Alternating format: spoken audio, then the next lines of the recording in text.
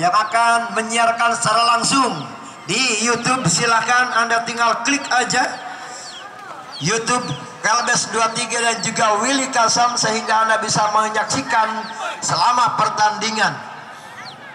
Masih dapat dilalui para pemain dari anak-anak JPM namun mencoba nomor punggung 4 dari Garci sudah pagi umpan ke depan berbahaya. Oh dapat diterima.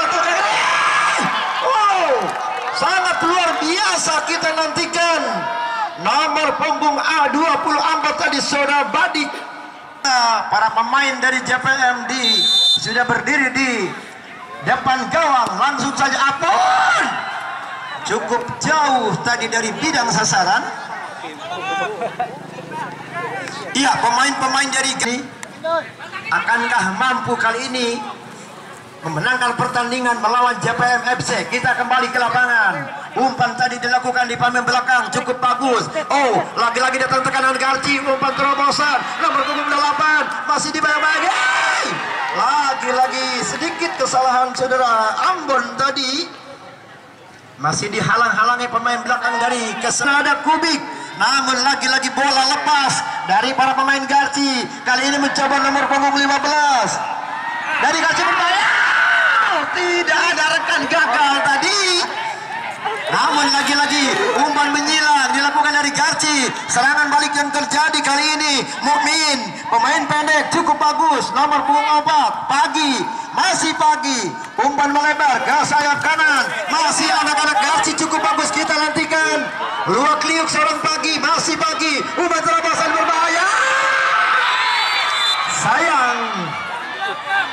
terjebak offset tadi nampaknya saudara Badik sayang mereka meraih tiket juara dan memberi tiket untuk ke semifinal kita nantikan. Tidak mudah untuk mengalahkan satu tim dengan tim yang lain. Bebun mencoba mengejar bola Bebun.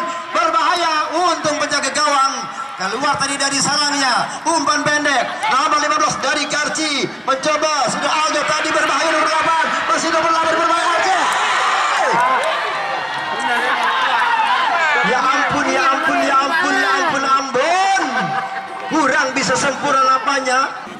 Kembali ke lapangan, nampaknya ada tendangan bebas dari anak-anak Garci Epa Putri. Kita kali ini mencoba ada sedikit pemain dari Garci berada di kotak lakukan sudah.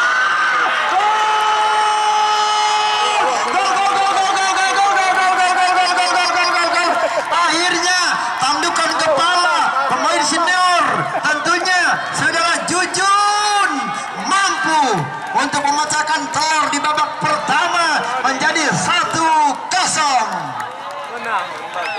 Ya inilah Jujun pemain Persib Bandung lambanya mampu merubah kedudukan di babak. Apakah gol akan terulang kita nantikan. Sementara mobil sudah ada di depan bawah. Oh sundulan bola tadi dari seorang Jujun. Lagi-lagi bola dapat dipatahkan kali ini. Namun belum aman. Anak JPM kena tekanan. Nomor punggung 4 kali ini Garci sedikit remah tadi tendangan dari seorang lakukan oh berbahaya kali ini dari anak-anak Garci. Ambon kuasai bola. Sedikit dengan tenang Ambon. Luak liuk di Ambon. Ada ada tekanan yang coba dilakukan. Coba diantisipasi oleh saudara Adit tadi berbahaya kita nantikan bola jatuh di kaki saudara Adi Costa.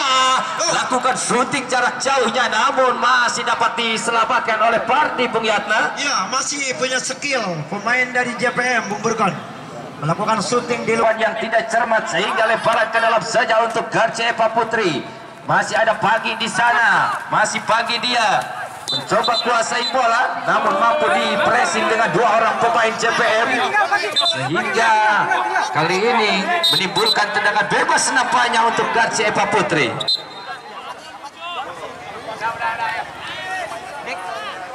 Peluang coba didapatkan lewat tendangan bebasnya Garci Eva Putri. Lakukan oleh Garci cukup baik di babak yang kedua. Mencoba angkat tinggi bola Bebun yang dituju berbahaya melakukan penetrasi oh satu sentuhan yang mengagetkan tadi nampaknya dilakukan oleh saudara Mukmin Namun kali ini akurasi tendangan yang matu sama. Kita nantikan agar petis cukup rapat dilakukan. Garci Tompel mencoba umpan ke depan.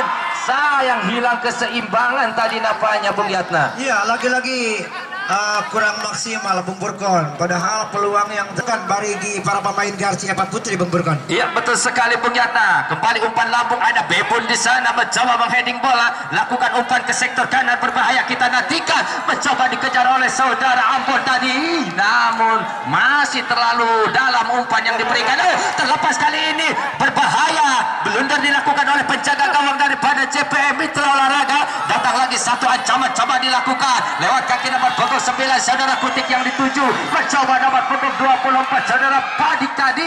Lagi-lagi masih cukup baik antisipasi bola dari seorang sing. Lagi-lagi CPM terus gencar lewat kaki nomor punggung 13 namun masih membentur tadi. Datang lagi kawannya membantu saudara Adin kembali dapat tiga kali. Umpan terlepas dari sektor sebelah kiri berbahaya. Gagal kali ini mitra olahraga. Ya. Pergantian pemain dari Garci FC. Ambon ditarik keluar digantikan oleh Alu. Pada dihadapi oleh saudara pagi kita nantikan angkat bola pagi. Berbahaya!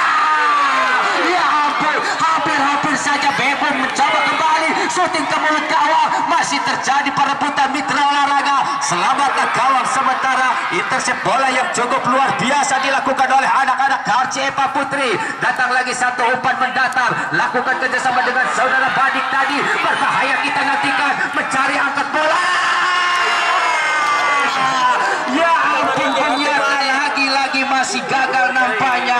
Upaya yang dilakukan oleh Garci Epa Putri Bung Yatna. Iya, permainan yang luar biasa. Garci Epa Putri masih Garci mencoba kuasai bola umpan terobosan. Berbahaya kita nantikan apa yang terjadi. Berbahaya! Bebon kali ini nampaknya masih belum mampu memanfaatkan umpan yang cukup manis tadi sehingga masih gagal Bung Yatna Ya, lagi-lagi menghibur. Mampu bisa tercipta tandukan kepala untuk menciptakan gol yang kedua. Ambil ancang-ancang mencoba langsung ke gawang. Apa yang terjadi nampaknya ada sedikit benturan ataupun duel yang cukup panas tadi sehingga menimbulkan pelanggaran seorang bebun rupa-rupanya. Selamatlah gawang sementara dari JPM. Iya, harus diulang. Oh, harus diulang. Karena memang tadi sebelum Ya belum hmm. peluit di, eh, peluit di- ya, belum dibunyikan sudah ditendang. tendangan, ah, betul. Ya kembali diulang nampaknya mitra olahraga kali ini tendangan bebas dari Garce Epa Putri. Ancaman yang cukup berbahaya kita nantikan. Dari sektor kiri angkat bola dia. Siapa yang dituju? Cukup mengagetkan nomor punggung dua saudara Jujun tadi masih gagal oleh Mister Gawang nampaknya Bung Yatna. Iya, betul. Lagi-lagi gagal tekanan dari Garci Bung Burkon. Tidak mau. Bosan maksudnya namun terlalu lemah tadi. Bola dicuri oleh anak-anak JPM. Angkat tinggi bola. Nomor punggung 15 yang dituju saudara Adi Costa. Masih Adi Costa. Back pass kecil ke belakang. Ada Odeng yang dituju. Tendangan roket coba dilakukan oleh saudara Odeng. Namun masih belum mempan nampaknya Bung Yatna. masih cukup cantik Bung Burkon tentunya. Kali ini satu peluang lewat tendangan bebasnya angkat tinggi bola. Ah, berbahaya. Sayang.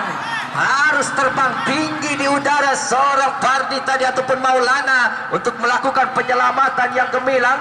Namun sayang harus terjadi tabrakan dengan striker daripada CPM tadi. Masih terjadi perebutan, masih mencoba anak-anak CPM lewat kaki nomor punggung 12 saudara Bahru. Angkat tinggi bola ke sektor kanan di sana ada Topel. Lakukan umpan. Oh, satu tendangan volley yang cukup mengejutkan tadi namun masih terlalu tinggi di atas Mister Gawang seorang Pardi Bung Yatna. Dilakukan oleh salah seorang pemain daripada Garci FC. Iya, sementara kita menoleh kepada manajer tim dari JPM Bapak Haji Jamar Bung Burkon. Ya, betul. Senyum manis juga memang harus dilontarkan Bung Burkon. Ya betul sekali. Ka- Kalah dan menang memang eh, sudah hal yang biasa Bung Yata di dalam pertandingan sepak bola. Sering kehilangan bola anak-anak daripada JPM. Satu serangan coba dilakukan daripada KCFC. Umpan-umpan yang cukup cantik coba dipertontonkan ke sektor tengah. Ada nomor punggung 4 saudara pagi kali ini mencoba melakukan duelnya. Berbahaya sayang. Sudah bagus tadi meloloskan diri dari himpitan dua orang namun terlalu terburu-buru nampaknya Bung Yatna. Ya, tidak melihat lagi rekan yang ada di depan Bung Burgon. Saksikan oleh kedua bobotoh-bobotoh fanatik daripada JPM dan juga Garce Eva Putri yang terus ya, menerus mendukung berbahaya kita nantikan satu ancaman namun sudah terlebih dahulu dalam posisi offset lagi-lagi Bung Yatna. Iya, Mas. Sedikit mencari target sasaran angkat bola. Hampir-hampir saja mitra olahraga sundulan yang kurang cermat tadi dan bola Bung Yatna di waktu-waktu injury time nampaknya masih ada setitik harapan dimiliki oleh CPM langsung mencoba umpan ke sektor depan Dom Topel di sana yang dituju berbahaya. Ada sentuhan dan eh, sayang bola lebih dekat dengan pelukan seorang parti nampaknya Bung Yatna Ya, hampir-hampir saja peluang tercipta juga dari JPM